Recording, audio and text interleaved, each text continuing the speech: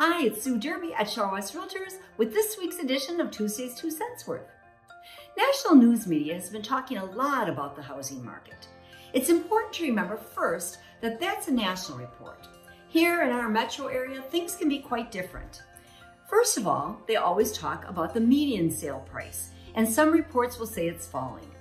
Let me explain how the median sale price works. It's different than the average sale price.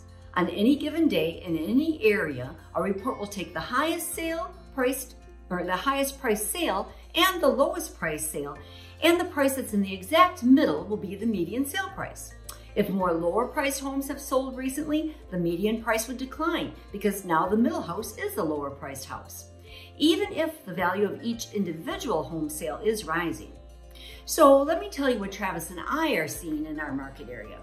There might be not as many offers on each house, but there are still multiple offers. And the offers coming in are exceeding sellers' expectations, and most are still selling for lots of thousands over the asking price.